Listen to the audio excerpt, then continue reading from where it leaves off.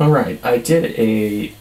Uh, I mentioned in a previous video I made of the SJ4000 that it. I thought it'd be pretty easy to take this thing apart for um, different lenses and stuff like that to modify it, rib cage style, which you know they use on GoPros, and uh, uh, they retrofit C-mount lenses on GoPros and things like that. Well, that was before I realized that most GoPros and action cams use basically security camera sensors. And subsequently, you can get security camera lenses for a couple bucks off eBay. I picked up this 8mm lens and this 12mm lens, which, if I've done my math right, should be about a 50 and 75 mil equivalent. Um, I picked them up for five bucks each. So, to get started, basically how this is, is you've got a board that sits into this black plastic housing here. And uh, just to get immediately started, actually, let me go over the basic stuff you'll need. You'll need a small screwdriver, something very thin, which um, translates to being pretty sharp, so a razor blade works. Also, a guitar pick is nice for pulling apart plastic stuff without damaging it. So the first thing, the easiest thing to take apart, well, first you're going to need to pull your SD card, obviously. So pull your SD and drop your battery out. So you got your battery, your battery door, set these aside. You won't need these, obviously.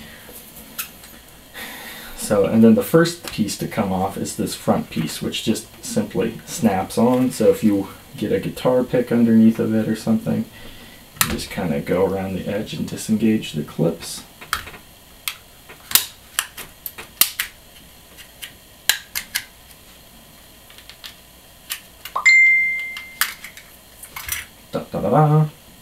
There's that.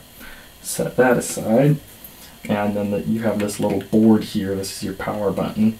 Um, now that's actually all I want to do for now. And that the the next thing I'm going to do is seeing this uh, shiny black or shiny plastic back is just a piece of clear plastic with this black mat and some glue on the other side. And I've already pulled it off and it came off really easy but I pulled it apart in a different method. So I'm going to try this. I think I can get a slim object such as this razor under there and just gently pry up on it. Yep, sure enough. And then just start to get underneath of this thing. Pry up on it. And once you get it started, probably transition over to the guitar pick because that'll make for a cleaner separation. And then just go around and disengage the glue.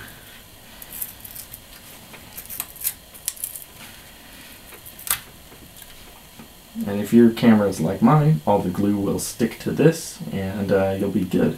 And also, actually I just noticed this, if you look at the back, ooh shit. If you look at the back here, there's no glue along here. I don't know if all of them are like this, but that might be a good place to start. I kind of uh, kind of did a little damage to mine actually. But no worries, we'll set that aside. This little light pipe here will fall out, so be careful about that. And now, this is kind of the tedious part here. You've got your screen. Obviously you want to be real careful with this stuff.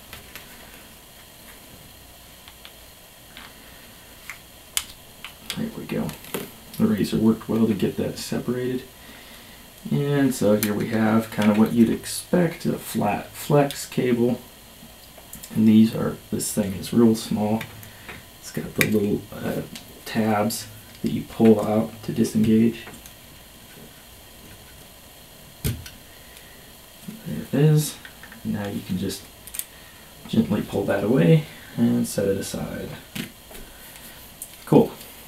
Now we're basically ready to take this thing apart got four screws that attach the main assembly into the housing.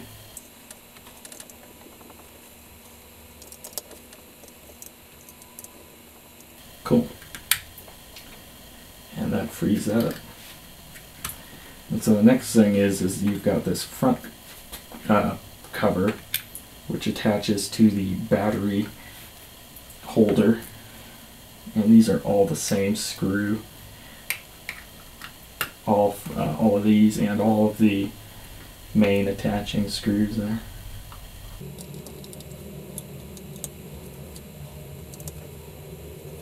Cool. Now that these are removed, uh, it's important to note that this board, uh, the wires loop around to the back.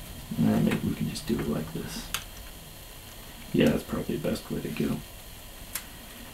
Just kind of lift it up like that because this board is on its own wires and then pull it back and set this aside. Now we're into the nitty gritty of this thing. And basically the only thing holding it in there now is the uh, HDMI and USB um, sockets which kind of poke through the side here. So all you need to do is bend this side away from those. And uh, you can probably push on the micro SD slot there. And you can pull. Obviously you want to be very gentle with this but it takes a little bit of doing and that's about it there we go we've got that frame out and so now now we can pull off the battery uh, holder now the battery holder has a couple things attached to it so you don't want to completely separate it otherwise. Well, because it's just not really worth it. You don't need to pull all that stuff off to change the camera module. So we'll pull this off. There's four screws and these are chrome screws like the stuff on the front which has a black finish. And so these might be different, so I keep them separate so as not to confuse them. On. It's nice to do your work on a little microfiber towel like this just so stuff doesn't get lost. Kind of sticky a little bit almost. And so there we have it. That is pulled apart here. And if we look at the chip on here, we'll see it's the Novatek NT9665 0, which is the same chip that's on the Mobius. And then it's directly printed on the ribbon for the camera module here, AR0330, which is also the same module that's on the Mobius. So, we've got another flat flex here, same sort of connector as the um, screen. And now these screws on the back actually have a kind of a bigger oh, well these there's two screws that mount the uh, image sensor to the board and they're kind of a bigger socket. So I used a nice big screwdriver like this to get these guys using the right size screwdriver is very important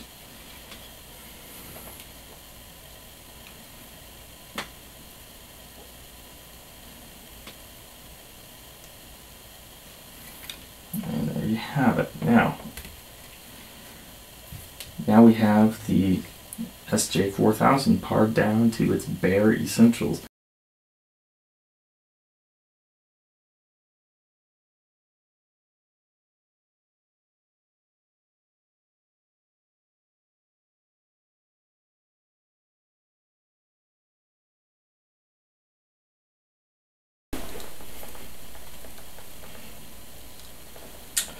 Well, folks, it's, uh, I should have showed you the process, but I did fit a different lens on there. Check it out. Um, the process was actually really easy. I just lefty-loosey unscrewed the original lens and the glue was pretty weak and it just came off. So you can see I'm testing it here.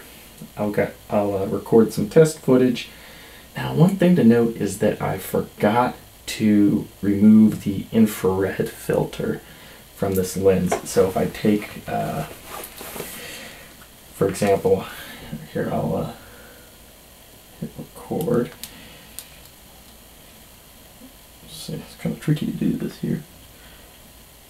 So if I hit record, and I take, I uh, go to my remote app on my phone here, take my phone, the IR blaster, and I video it. it comes up like a bright LED just shining straight into it. So, um, whoops, when you buy a lens for a security camera, make sure you get one with an infrared filter on it. Otherwise, your image will be all pink and ugly. So, uh, that's that. Anyhow, thanks for watching. Uh, now I'll show you how to reassemble this thing. So reassembling this thing is just as easy as taking it apart is, and basically the same.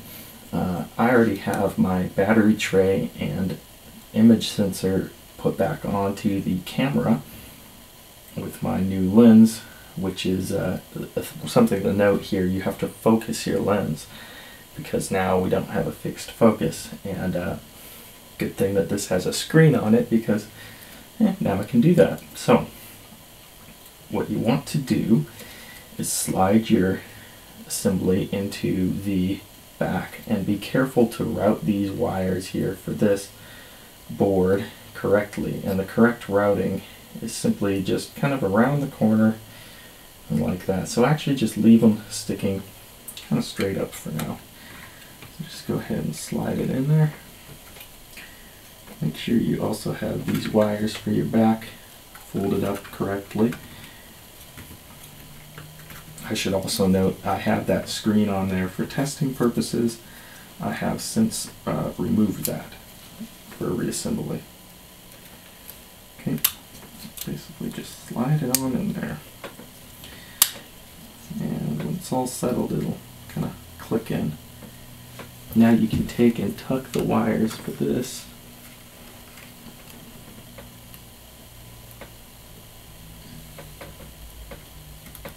Tuck them around the corner.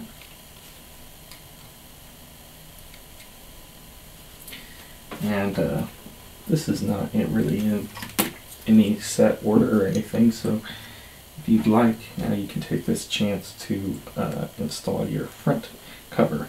And this front cover with this bezel for the lens, I'm actually going to remove this because it's just clipped on there. And that way I can get at my lens and focus it if need be fairly easy. So I will put this in here, set this board back on there. Good deal. And now, just put these screws back in there. Misaligned a little bit. So you want to be sure to have your, there's some pins on this that need to line up. Yes, there are.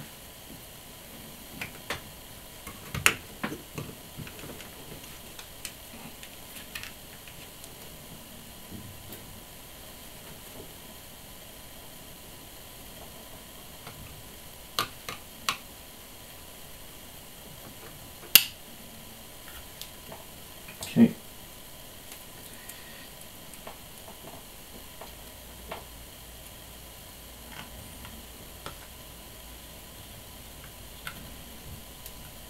those are the four screws that hold the front cover to the battery tray, and now the four that hold the battery, the front cover to the rest of the frame.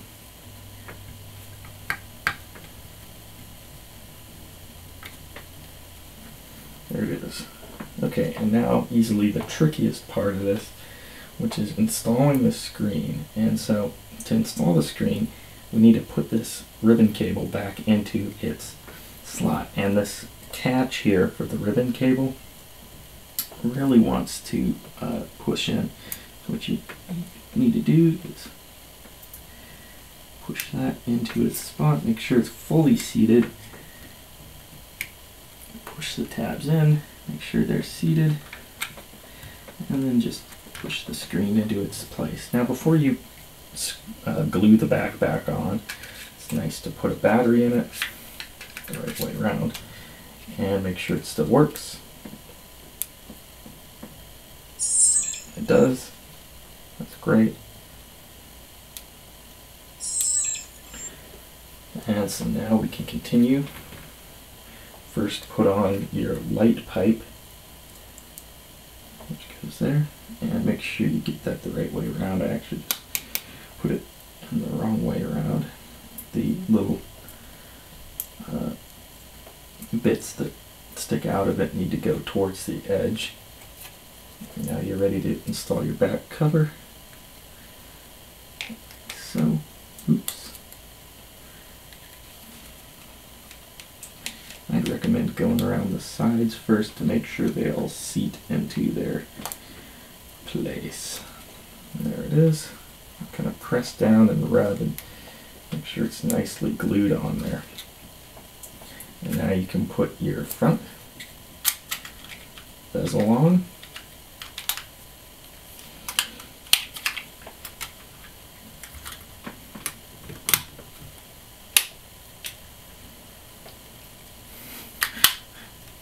If the uh, clips will go in. There we are.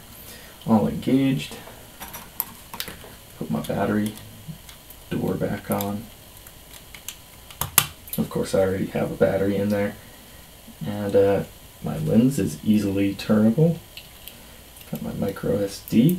I'm ready to go. And now you can actually focus your lens and you could even uh, shoot macro or something like that. So let's do some test shots and have some fun.